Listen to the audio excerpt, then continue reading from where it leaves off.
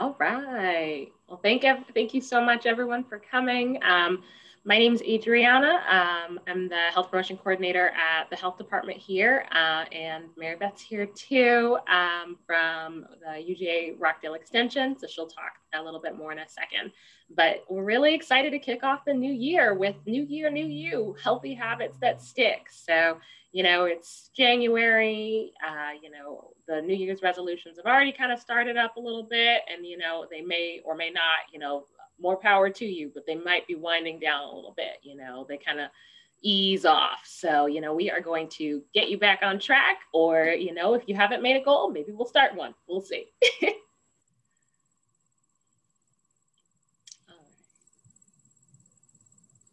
okay, so real fast uh, we can, um, you know, you can raise your hands. Um, you can raise your hands just kind of if you, you know, hit those little three dots, you can kind of just, you know, um, you know, show um, there are some reactions at the bottom too, you know, so maybe do like a cute little thumbs up. But there, um, we're just going to take a quick poll, right? So, how many of you have made New Year's resolutions before? So, I certainly have. I see Graciela, Stephanie, Lee shaking her head. Melissa, Leslie. Yes. So how about for 2020? Have you made one for 2020? And that should have said 2021, but either one. ah, see, we're all stuck in this time warp thing. Uh, it's okay. um, yes. So have you made one for 2021? See, I didn't even catch it. Yes. Um, we've got a couple people who've made some. How about regularly? have you do you regularly set you know goals you know whether that be new year's resolutions monthly goals weekly goals? Melissa says yes. Yes she regularly sets goals. That's okay you know i understand it's a lot of work. Um, and then do you feel like there's a difference between goals and, and resolutions? So you know if you do you can do a little thumbs up. If you don't you can do a little you know open mouth like oh there's no difference oh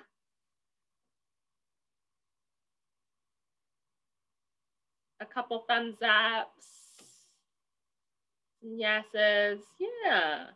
You know, so we're going to talk about that. Um, yes, we've got some yeses in the chat, you know, some try to.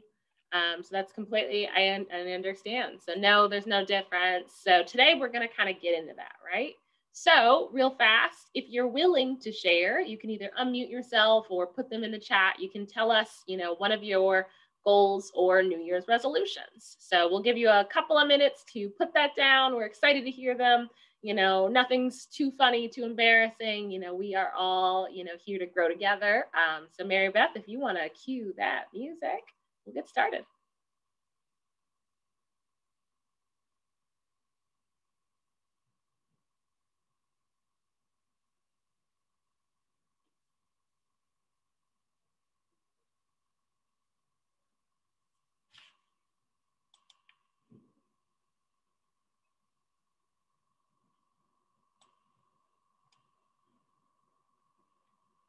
Okay, we've got one in the chat. So a dry January, of course, and also lose weight. Yes, I understand. Great reset um, to do a dry January. Awesome, awesome.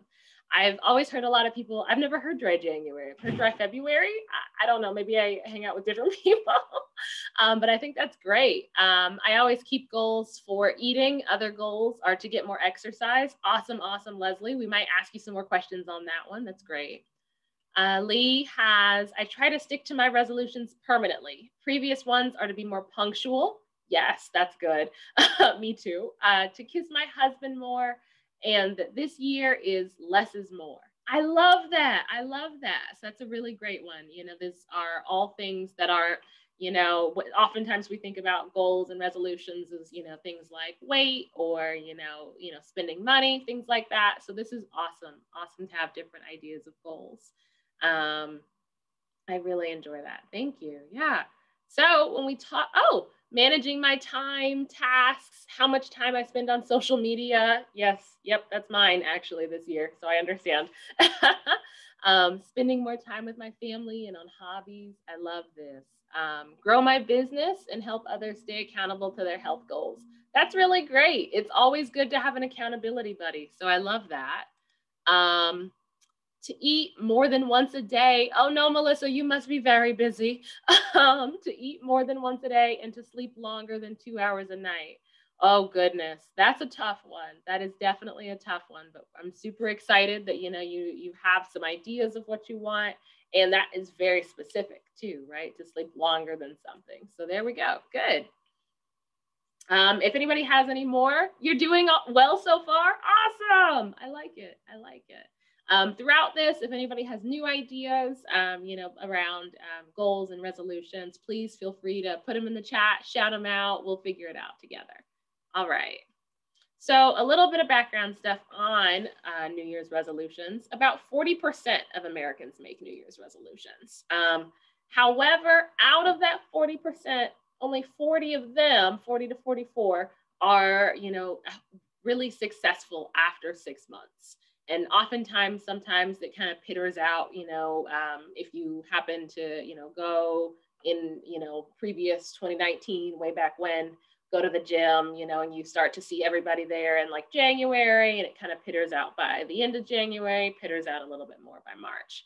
But overarchingly, people who set resolutions, who set goals, tend to have way more success at changing behaviors. So 90% of successful people set goals.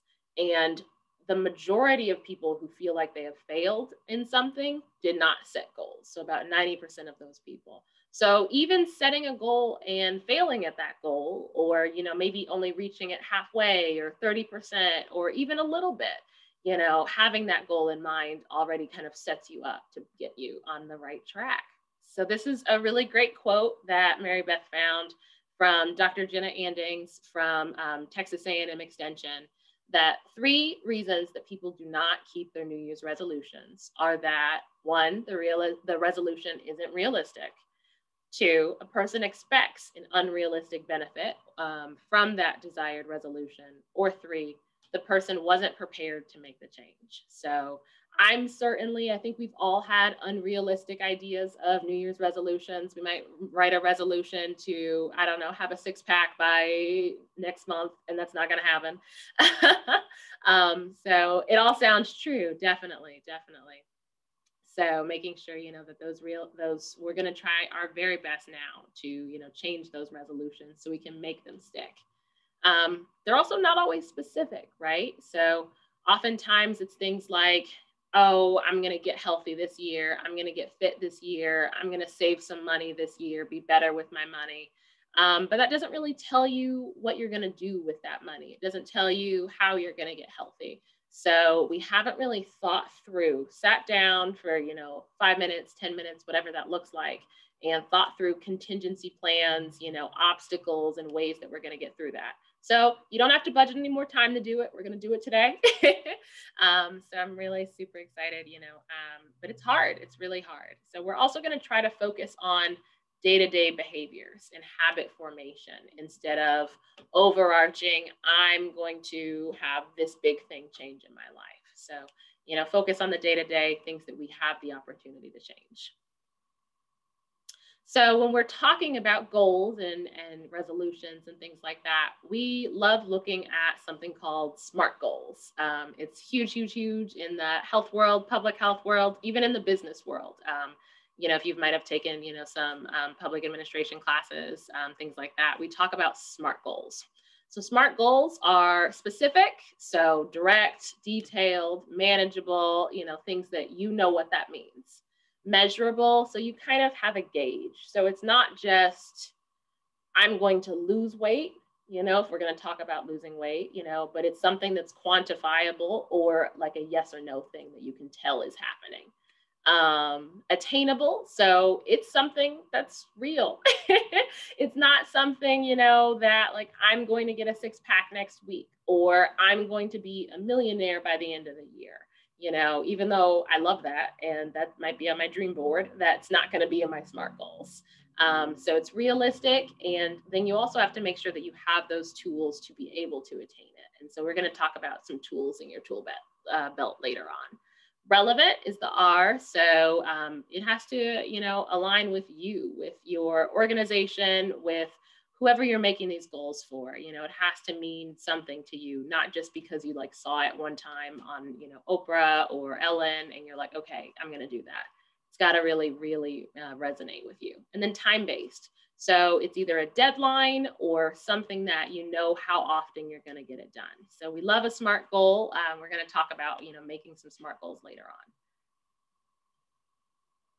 So all right I don't know if you guys came prepared with a piece of paper and a pen. you don't have to today, but you know, you you can, you know, have a mental list. You can pull out your phone, whatever works.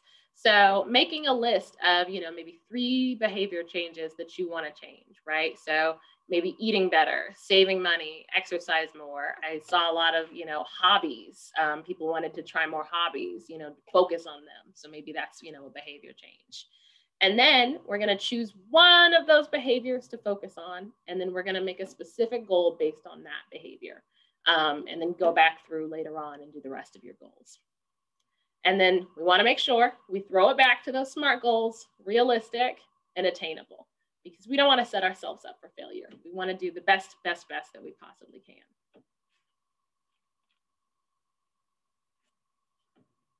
All right, so we have a big goal, um, and I saw some awesome, awesome big goals, right? Um, but maybe if you know we want to say something, you know, too big, right? We don't want to go too too big. We want to go big, but we don't want to go too big.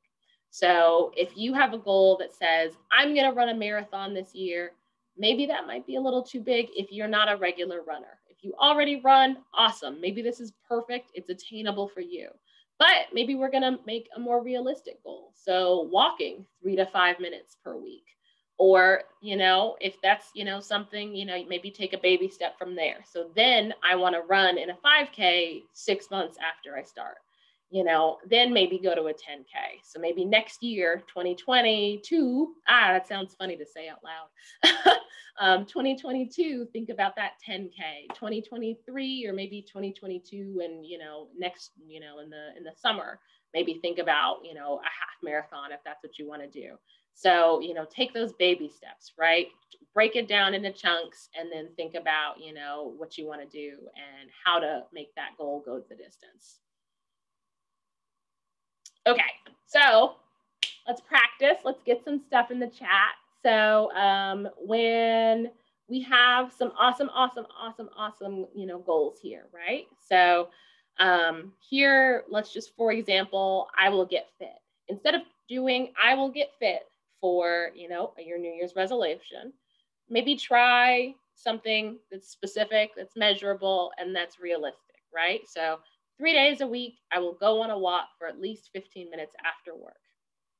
Instead of maybe lose weight, maybe try I will cook dinner three days a week, making sure to use two vegetables. Or instead of my goal to stress less, I will stress less, maybe change that to I will meditate for five minutes in the morning after my shower. So um, if we've got some awesome goals here, so we can take a couple of minutes, um, couple minutes here, you know, to say, make some of those goals a little bit more smart, right? So, you know, goals around eating, goals around exercise, um, goals around some of those hobbies. Also, I really want to find those hobbies that you guys are finding. I would love that. um, always need a new hobby. Um, but you know what what that could look like. So if you want to take some time, put some in the chat, and then we'll give you some examples too.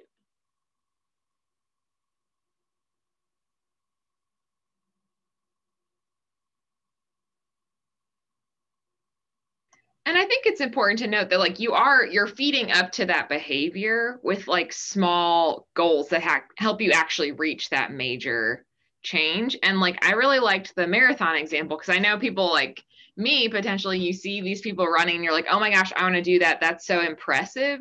Whereas if i start running and i feel comfortable with a 5k and i do a 10k that means i can run for an hour straight and i can either be really excited about that or say you know what that's plenty fit. I have no need to run four times as long as that just to say that i did. Like i i achieved what i wanted to achieve. And so that can kind of um it can shift what your motivations are over time. But as you progress toward bigger goals maybe you do still want to run a marathon or something like that. You have um, you just feel successful and those positive feelings can help you reach that next rung on the ladder. So that's why we really like to focus on breaking stuff down. I love it i love chunking things um, breaking things in a little bitty pieces super duper great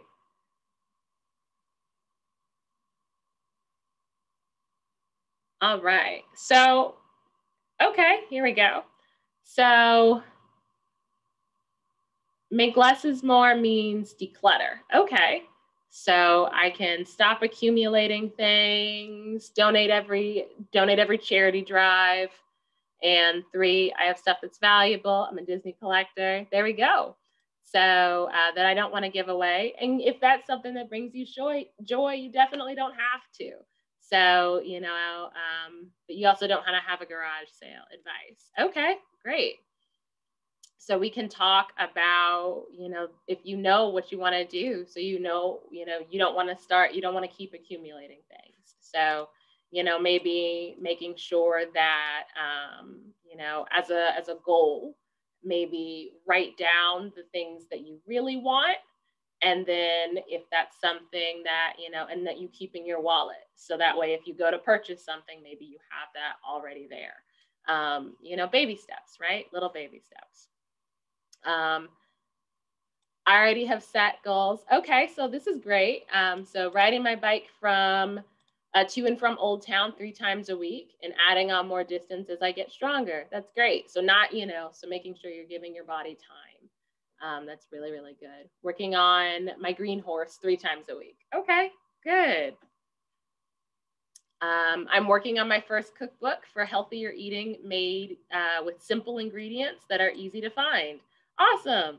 I'm also creating a cookbook for college students being on a budget. Yes, we need that. We, yes, definitely budget. um, I'll be 50 in April. So I, um, and I've set a goal weight. Okay, good, Gail. Um, my husband and I have set some goals for ourselves. We do some sort of exercise for at least 30 minutes a day, and dinner is finished by 8 p.m. Awesome. Downtown, 8 to 10 p.m. Oh, down downtime, I think. So read, watch TV. Last week you did three HIIT sessions and walked five miles, and you feel better. Accountability is key. Looking forward to getting back to doing 5Ks, and you're already seeing hard work. That's awesome, awesome, awesome, awesome. That's good, Gail, to make sure you know you've got a long-term goal and you've got a short-term goal of how to, you know, how to make, you know, reach that long-term goal. So that's great. Um, I plan to stay accountable to this goal by creating at least three recipes every week for your cookbook. I love that. All right.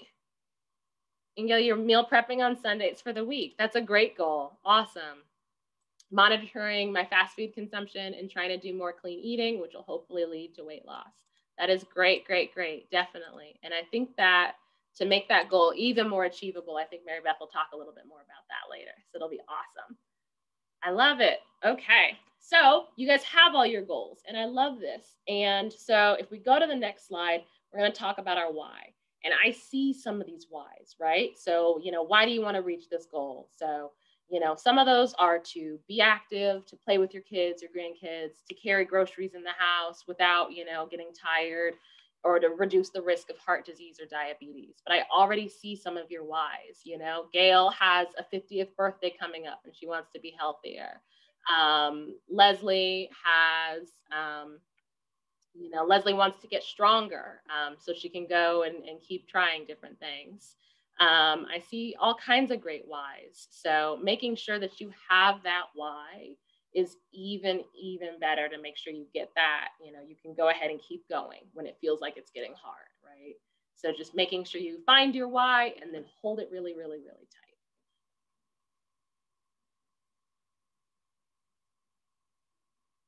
All right. And then we're going to talk about baby steps. So we talked a little bit um, about breaking big goals down into manageable pieces. So that was a huge thing. Um, yes, this is a good why, Lee, because clutter is paralyzing and it makes you feel stressed. So we don't want stress. You have your why, definitely. So we're going to break these goals down. Um, you know, when Mary Beth talked about this, um, the the marathon, right? We're going to start small. Um, so even little baby things help. So making a few mini goals. So some of these are awesome, awesome mini goals. So, you know, trying to write three recipes a week to get to your big goal of a cookbook. There we go. That's a great mini goal. Um, maybe things to change your environment to make your uh, to make things easier is a is a mini goal. So um, for me, my goal every day is to when I'm at my office, I bring my gym clothes, and my goal is by the end of the day, I've got to change over into my gym clothes. Once I'm dressed, I'm gonna go exercise, but I hate getting dressed. It's I I don't know why. It's not a thing. I don't love it, but um, you know, making that goal for me to always bring my gym bag. So that way I, you know, change clothes, drive back home and go and get some exercise. So, you know, whatever that change to your environment is. So maybe it's making, you know, if it's, you know, purchasing too much, maybe it's deleting your debit card from your Amazon account. Or, you know, if it's um, something surrounding, you know, healthy eating, you know, maybe buying yourself a new cookbook to make to give yourself some inspiration. So whatever that little uh, mini goal is, but make it as small as you need it to be to get started. You know, as long as you have that desire in your heart to do some kind of behavior change, it can be as small as walking around the block. It does not have to be a whole marathon. And I think that that's a really, really great analogy. All right. Um, so we are going to go into some examples, especially about food and about exercise, and we're going to try to infuse some um, just background knowledge and education around those topics so you feel more equipped to make these changes versus being swayed by what the internet says you should do or what your what um, your family members or friends are trying. Um, so in the realm of like I want to eat better, we wanted to talk about um, reading nutrition labels and eating more vegetables as some common um, kind of clean eating type of resolutions or goals. So labels it are like such a powerhouse of information that a lot of people don't take advantage of.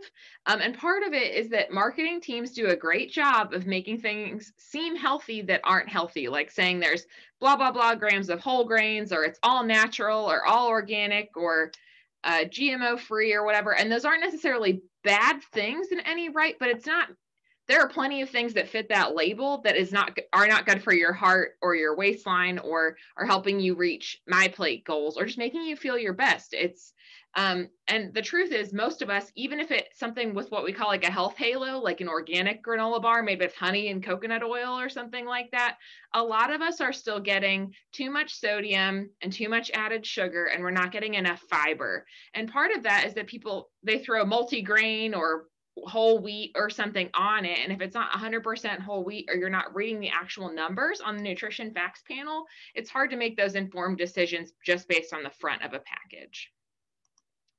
Um, so we wanted to really break down what the food label looks like now and what information you can get from it. And so you want to start from the top and so you want to see what is a serving size?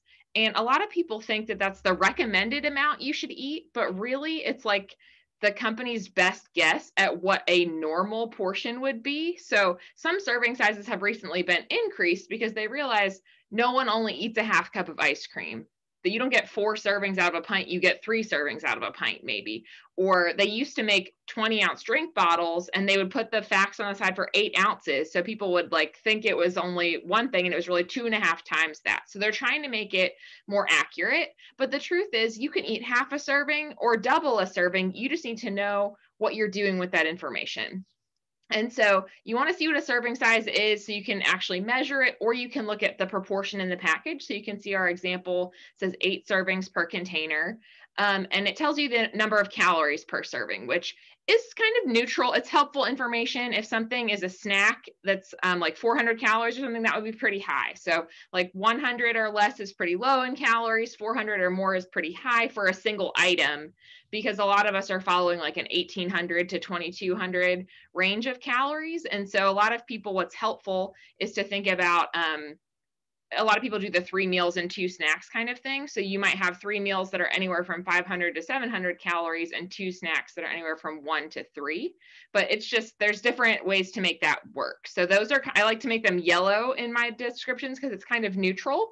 Um, but then the red items are things that are on every nutrition label that you might want to look at and see if you can pick something that has a lower amount. So that would be saturated fat, which isn't the total fat. The total fat doesn't really matter as much to our health because um, we, we know there are heart healthy fats and not so heart healthy fats. So saturated fat and trans fats are the ones that are not so good for us. Um, sodium, we know a lot of people get too much of it and it leads to hypertension and heart disease over time. And then added sugars is one that is finally on most nutrition labels, which is very helpful because it's hard to discern from a from a yogurt, for example. There's a significant amount of sugar, I mean sugar from the the milk naturally, but then if they added honey or jam or different things like that, um, that's going to increase the amount of added sugar, and so it helps you figure out how much was added and how much was just naturally there. Um, and then the things that are green are things that we don't necessarily get enough of as an American public. So fiber, we mentioned vitamin D, calcium, iron, and potassium. Um, and so that's it's a lot of numbers. But the truth is, all you really need to look at once you know the serving size are those percentages on the right hand side. So that percent daily value, just 10, 5, you can see those on the side. Um, and so there's th- something called the 5 and 20 rule. And so it's like my most favorite thing it's like a magic like decoder ring. And once people know they can really make good informed decisions about the foods that they're choosing at the store. Um, but 5% is considered low and 20% is considered high. And a lot of things fall in the middle. And so you have to make judgment calls about that. But when you're looking at maybe breads, you want to look for something that has fiber that's closer to the 20% versus something that's closer to the 5% because you expect to get fiber from the bread you eat or the grain products that you eat. Um, but if you're looking at maybe a frozen meal or um, I don't know, a can of soup or broth, broth is a huge one if you're looking at like cartons of broth at the store, you want to really look at that sodium percentage and like lunch meat and different things. Some things are just way higher than you would think, especially if you're going to eat two servings of that thing. And so being able to hold these up side by side and looking at which one's closer to that 5 or 10% mark can be really helpful. And so I if we were together, I would have brought like a regular chicken broth or veggie broth, a reduced sodium and a low sodium. Those all have real defined terms. Reduced sodium is like 33% less, but it's still way above 20% for one cup. Whereas a low sodium you could see was like three to seven percent. And so just starting to look at those things and um, make those judgment calls can be very, very helpful. So you might use this knowledge of nutrition labels to aim to eat less sodium. So all Americans are instructed to have less than 2,300 milligrams per day, and that's what the percentages are based on. Um, but the American Heart Association actually recommends less of 1500 milligrams per day. And the truth is, most sodium is hidden. It's not what we add when we cook, it's not what we add with our salt shaker. Um, it's already in our restaurant food because they're really just they're concerned about you having a pleasurable experience. And salt is one of those things that kind of hits those um, sensors and makes things taste better. Um, but frozen and boxed foods that are prefab also have quite a lot of sodium in them. So it's not to say that you can never have them, but maybe you have your lean cuisine and you try to only have it two or three times a week and then you add a side that's lower sodium like a piece of fruit or a frozen vegetable that doesn't have a sauce on it or i mean you can add some flavoring of your own but not a sauced vegetable or a canned vegetable that has salt um, and the truth is your taste buds will actually get used to less salt in two to three weeks. And so if you kind of bring it down, you'll get used to it. And then really salty things will taste saltier to you. So we have a handout to show you how you can kind of systematically reduce that salt over time by focusing on different types of products that you might be eating. Um, another one that a lot of people can look at is the added sugar, like we said. Um, and if you look at the green words, those are all um, different words for sugar or types of sugars that you might see on the ingredients label. So that list of ingredients. And so if you're not aware, the ingredients are listed from the most to the least in a in something. So if you're buying something and it's not a dessert and like sugar is the first ingredient, you that might give you pause or if it has like four different types of sweetener or something like that. But as in as far as what nutrition educators and experts say, it's kind of like sugar is sugar is sugar. There's a health halo around honey and kind of a demonization of corn syrup, but they're both four calories per gram. And so it doesn't necessarily matter to a nutritionist which one is in your granola bar. It's which one has less added sugar overall. So we're supposed to keep that to 10% or less of our daily calories, which is about 200 calories made from um, from sugar. So a can of soda is like that complete is like 40 grams right there. Um, but we wanted to share these examples of surprising sources of hidden sugar. So it's things that we wouldn't think about that quickly add up because they have about 20% or more of your your sugar for the day. And so pasta sauces can have six to 12 grams per half cup. Granola bars can have eight to 12 grams. Yogurt can be huge. So I usually, if I'm going to buy vanilla yogurt, I will do um, like I'll buy plain and I'll buy vanilla and mix them together, or the same with the flavor, or I'll add my own like low sugar jam or my own toppings. Like I'll add vanilla and some sugar or vanilla or some Splenda to that. Um, instant flavored oatmeal has a lot of sugar automatically. Salad dressing can, and then surprisingly coleslaw as well. So it'll be really interesting as you start looking at the products that you buy just to see if there are simple swaps you can make or reduce the amount or the frequency in which you have them. So it's not to say that you can't have things with sugar, it's just having them fit into your eating patterns. So um, one smart goal or a mini goal might be I will make one healthy swap at the grocery store this week after comparing labels. I know a lot of people, a lot of like health gurus will tell you that you need to do like a clean pantry sweep. And that is one approach. But in terms of it being a long-term sustainable approach, unless you had a health scare and you are ready to go and you are motivated and you have those scaffolds around you, you're probably going to go buy those foods again. So maybe you stop buying things, certain things, um, and maybe you throw out some things, but a sustainable habit to build would be okay, the cereals that I buy or the granola bars that I keep in my purse or whatever that might be have a lot of sugar or have more sodium than I would like. I'm going to try a different one and see if I can sub this into my eating pattern. Does that make sense? Does anyone have any questions about that?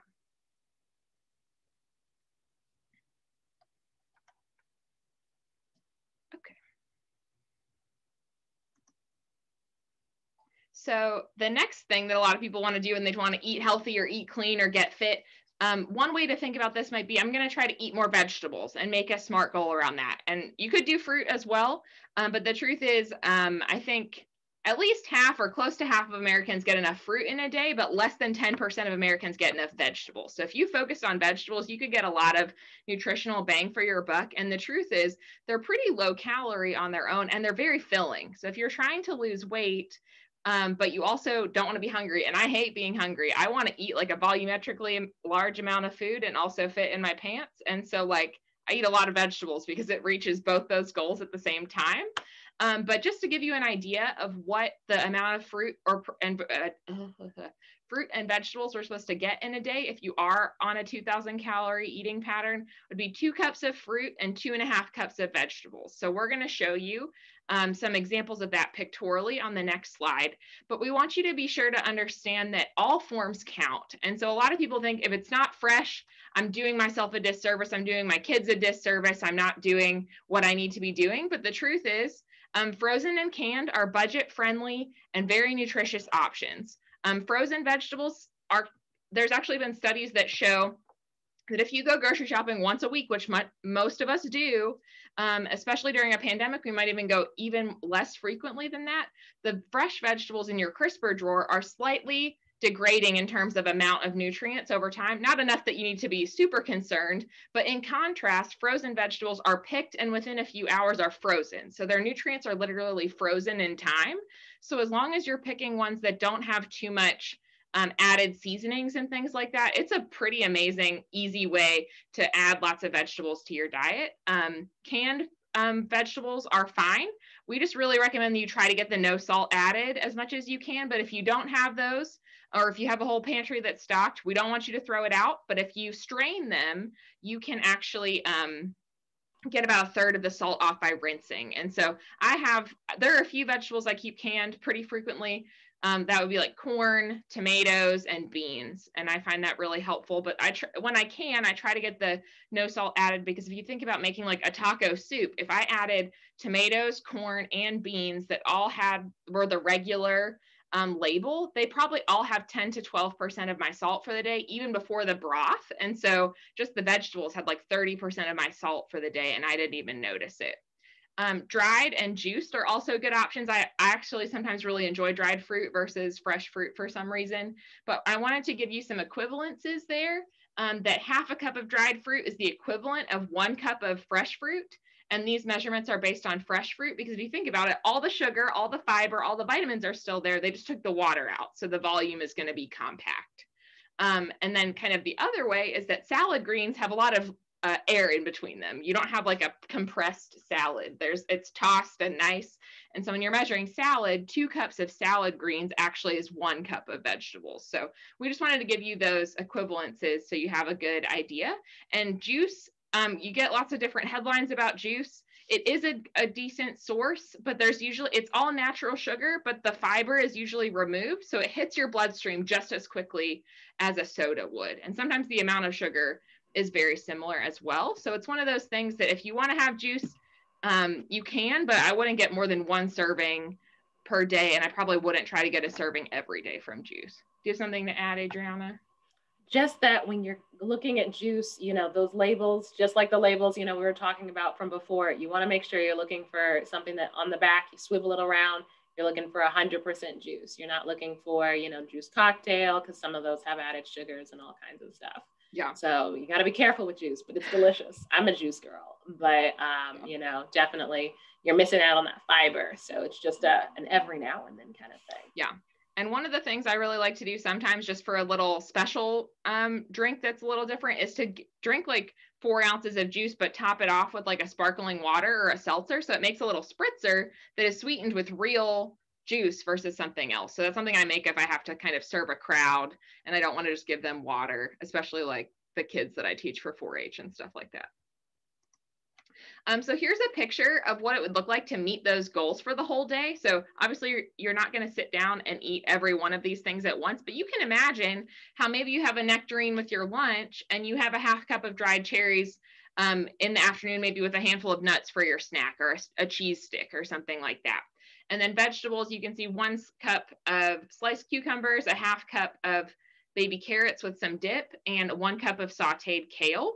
So you might have one of those with lunch, one of those with dinner, one of those with snack, and suddenly you've met the goal and you can see how that would have filled you up. So our our biggest goal is to help people not wait until dinner to try to get all their vegetables in. It is possible. Some people like eating those giant salads that have like five cups of lettuce in them, or this I buy the um like saute vegetables in a bag when they're on sale.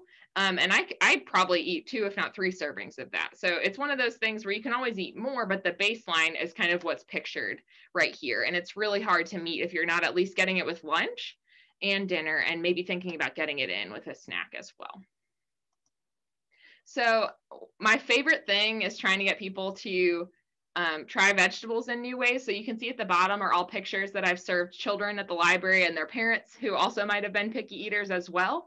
Um, so one way you can make vegetables more fun and appealing are to serve with different dipping sauces or cut them in different ways. So you can see in the bottom on the red plate, that's all yellow like summer squash so that you can eat raw that I cut into sticks and chips and crinkle fries.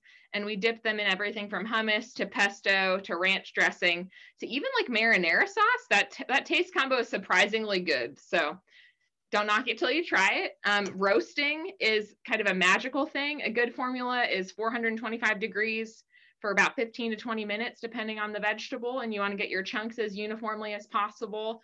And I usually add like a tablespoon of oil for every like four cups of vegetables or so and maybe a half teaspoon of salt and pepper but if it's it's one of those things that if you grew up eating them boiled um, and you think you don't like a vegetable trying it roasted is probably your best bet at seeing if maybe you were wrong so I roasted some cabbage here at the bottom, um, and I've had a lot of parents say I was surprised how good that was.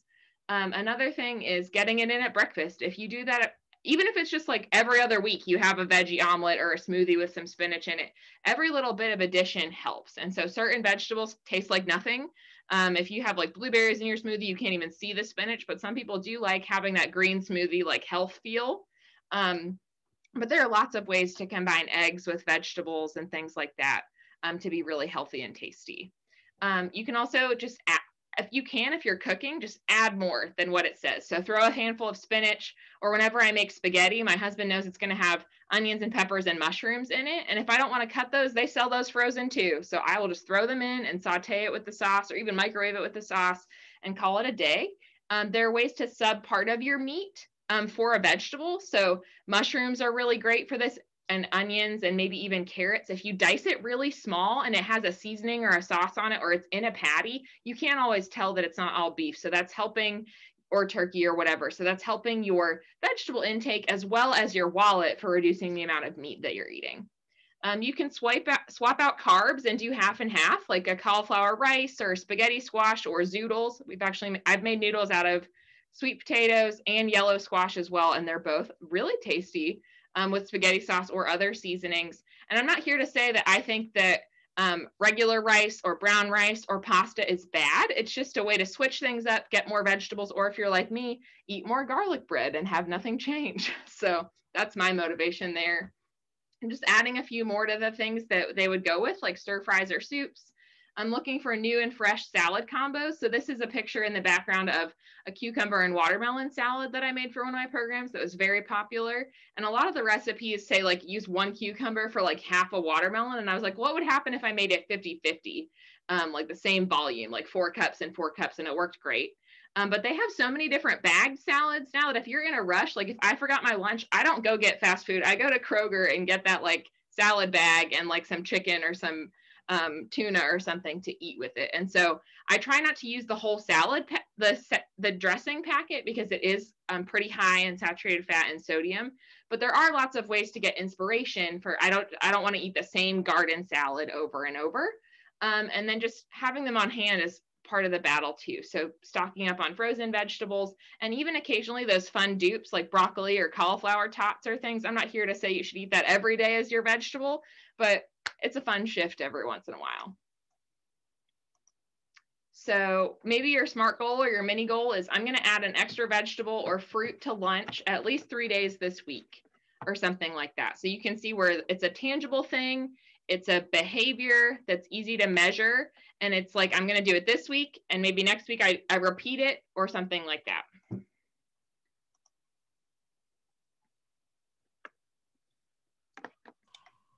Okay.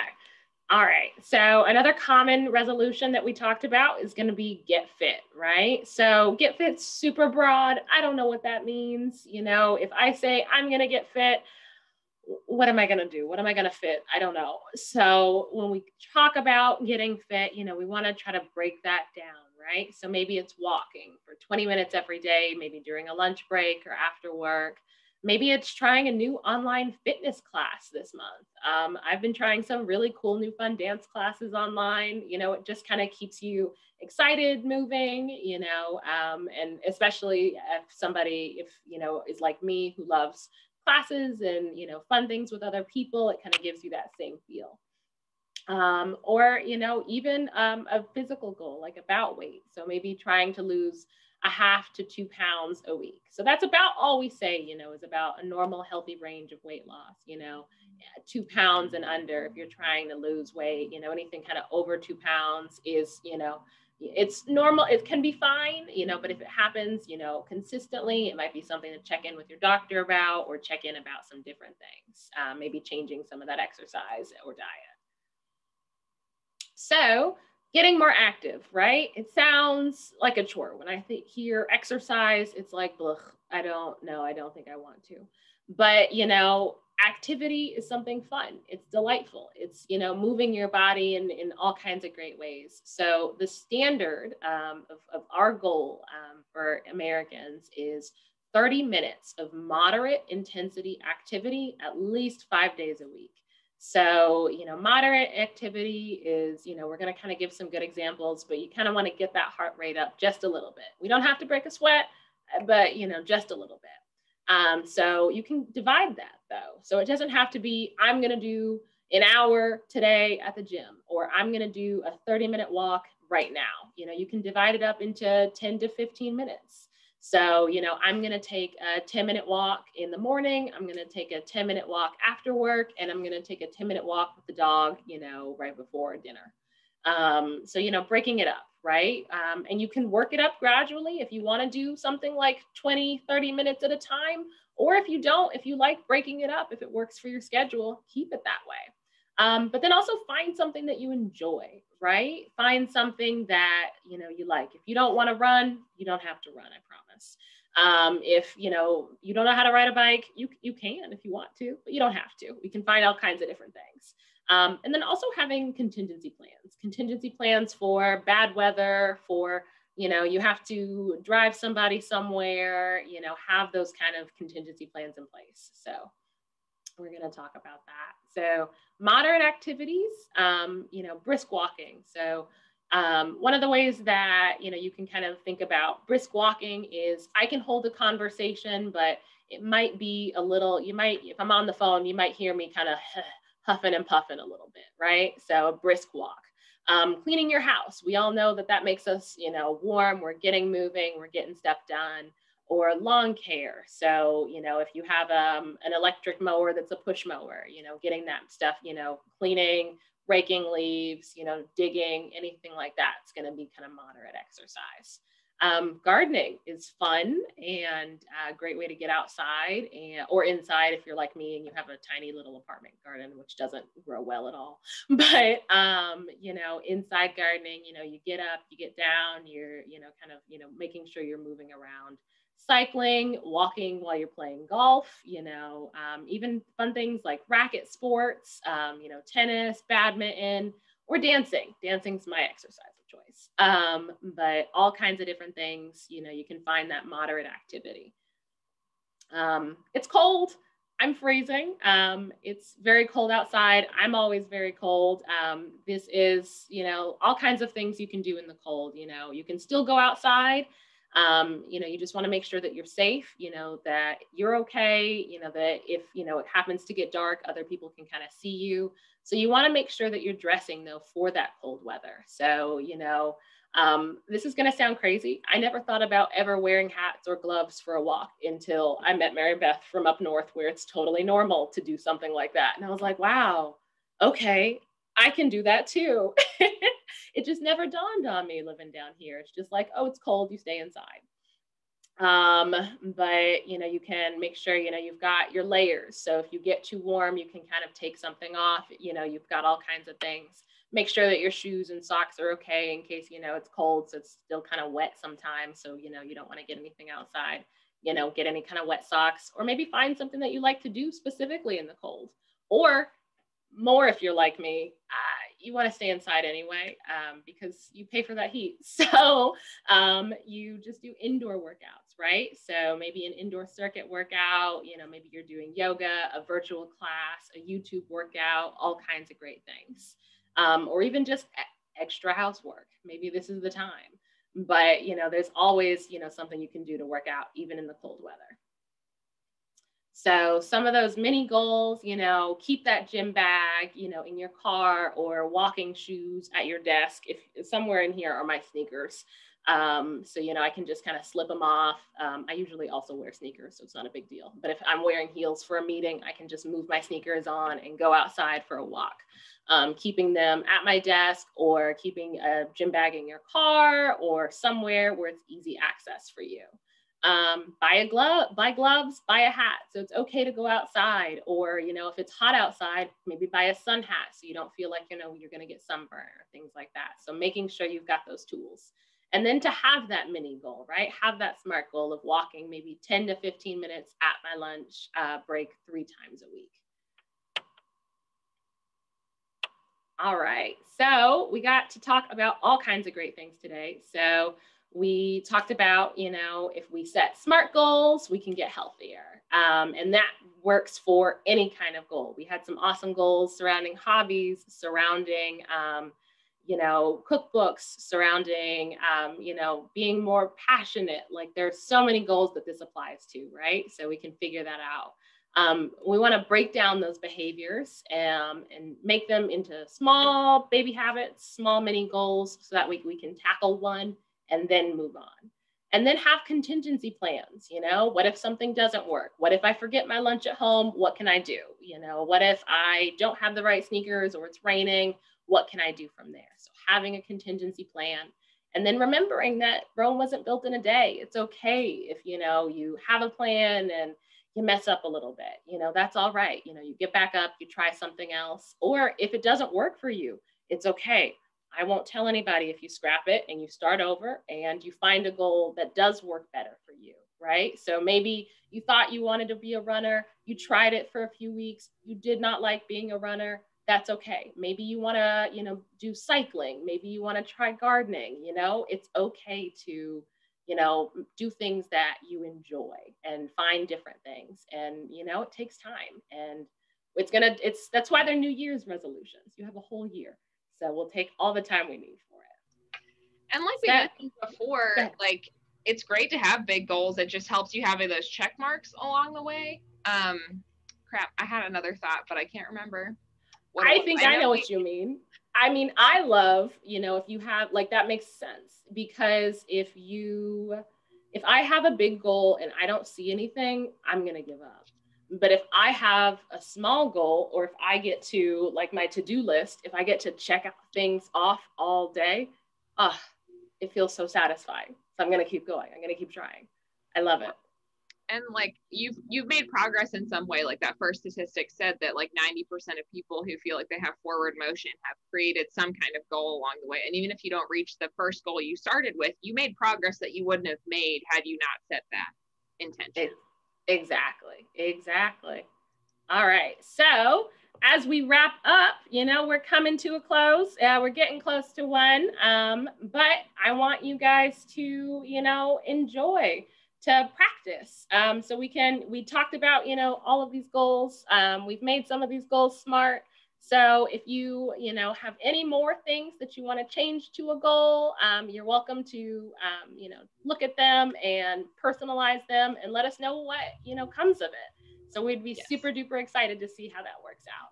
Yes, um, Mary Beth, you want to talk about prizes? You yeah um, if we can help you at all i just want to be respectful of everyone's time we exactly. can stay on after you can email us if you succeed in your goals we'd love to know about it um, our we email do. will be on the last slide i want to um, see this cookbook guys yes um, so we do have a very short evaluation. I know that um, Miss Gail has been with us every time, I'm pretty sure, or nearly every time. So we have a prize that I will get to you for sure. We've kind of, I fell down on the job of doing my little raffles. Um, but it just means a lot to us to know how we can make our programs better, what you're looking for, what you got out of it, all that type of stuff. So I put the link in the chat and the program name will be Healthy Habits. And then today's the 28th. Um, but if you put in something else, we'll be able to find it. And I will include this in the follow-up email.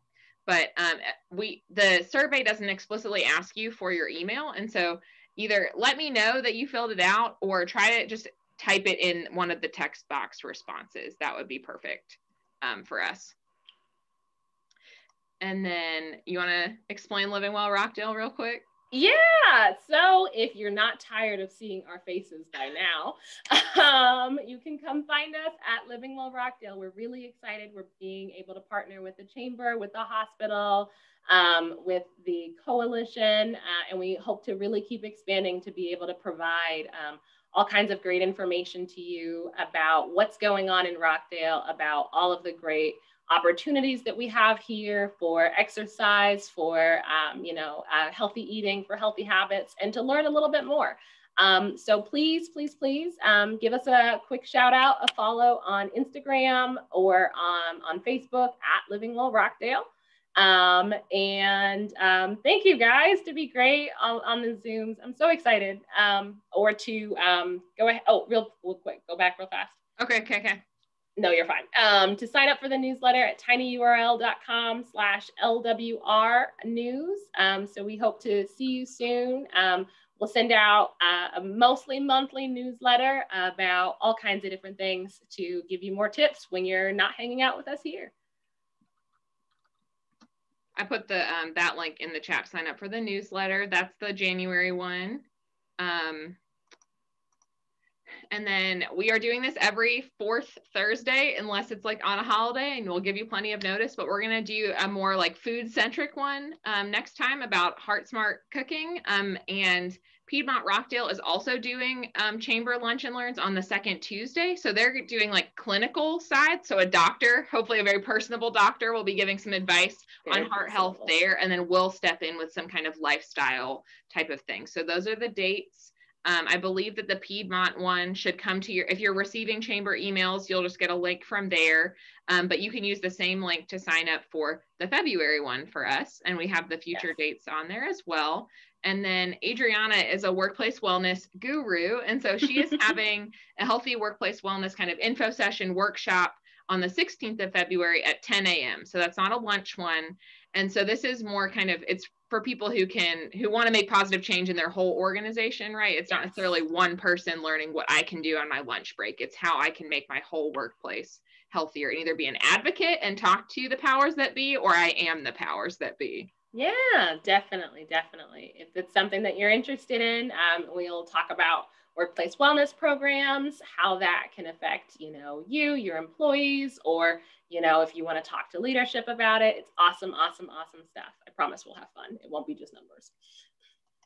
Yes. So those are our two email addresses if you want to follow up with us. Um, you can stay on the line if you would like to. Um, and I have a few handouts that I will email you. So I'm going to do a new share so you can see those if I can find the window. New share. Um, so I think I'm probably covering part of it with this, but um, we have one. Ooh, I'm not trying to, I promise I can do some things with technology. Um, one about shaping habits, seven tips for that. Um, we have um, small steps for increasing physical activity. Um, we have that same cool weather workouts one. Um, this is the one I was talking about with the Salty Six, focusing on breads and rolls, basically sandwich items and your first week in building on that. Um, we have one about added sugars and reading labels. Um, this is kind of the step-by-step -step of reading labels. And it says it's for kids, but I think it's the best handout out there. So don't feel like you're being patronized to, please um, one about smart snacks and ideas for that, um, building a healthy meal, livening up your meals with fruits and vegetables. And then we have one that's a pantry list and a really cool one for um, goal setting for health goals. So we will get those to you as soon as we can. So I'm going to stop the recording, but thank you all for coming and spending time with us.